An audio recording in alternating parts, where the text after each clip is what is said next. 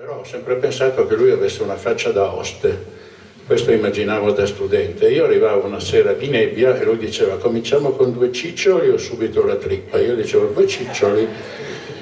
Ho visto come se seduto sulla tomba, era come se si sedesse a un tavolo di ristorante, meraviglioso, meraviglioso.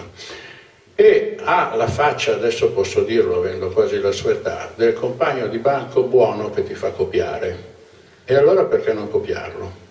Quando è nata questa cosa era evidentemente un'altra Italia, erano gli anni 50 e forse abbiamo ritoccato un po' col sindaco altri il concetto di, di Luzzara che ride, cioè l'importante era portare la gente a scrivere di quello che ha visto, di quello che sogna, di quello che sa e infatti abbiamo avvenimenti immaginari eccetera.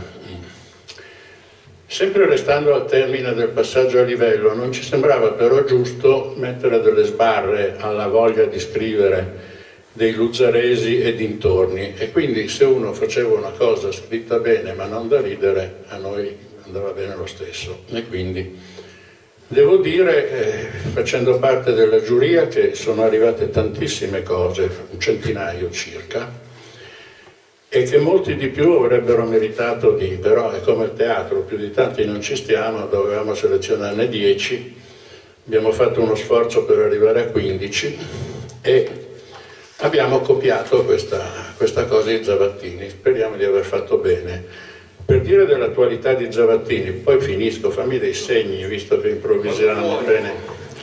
La mia difesa della lingua italiana mi proibisce di dire t-shirt, ma ci sono delle magliette in vendita fuori, il nostro indossatore ne mostra una, molto belline, ma è importante quello che c'è scritto sul dietro. Ci sono due... No, no, no, no, non farlo, dai. Eh, a parte che io mi sono fidato di un sindaco chiaramente magro e io diffido non solo, ma che come massimo di magliette ha fatto stampare la XL. Se volevate, ma io fa niente, dimagrisco pur di entrarci. E eh, ci sono scritte delle cose dietro che, che non sono né da ridere né da piangere, sono un po' da pensarci sopra. E una dice, mm, noi pensiamo sempre al dopo, ma in questo periodo bisogna avere il coraggio dell'oggi. E io credo che sia una frase su cui riflettere molto esattamente come una che mi aveva, un'altra è non mi interessano i fatti ma gli uomini.